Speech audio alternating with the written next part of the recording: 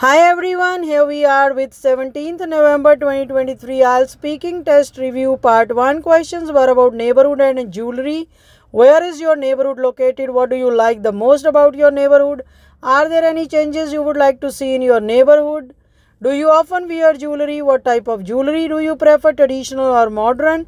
In your culture, do people wear certain type of jewelry to specific occasions? And uh, part 2, cue card was talk about a picture you recently took, what the picture shows, why you took it, where you took it, how you feel about the picture.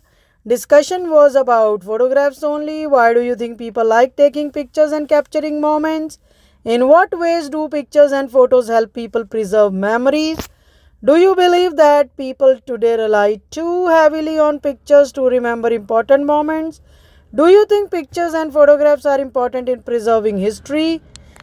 In what ways can pictures provide valuable insight into historical events? Do you think using pictures help us understand history accurately? Thank you.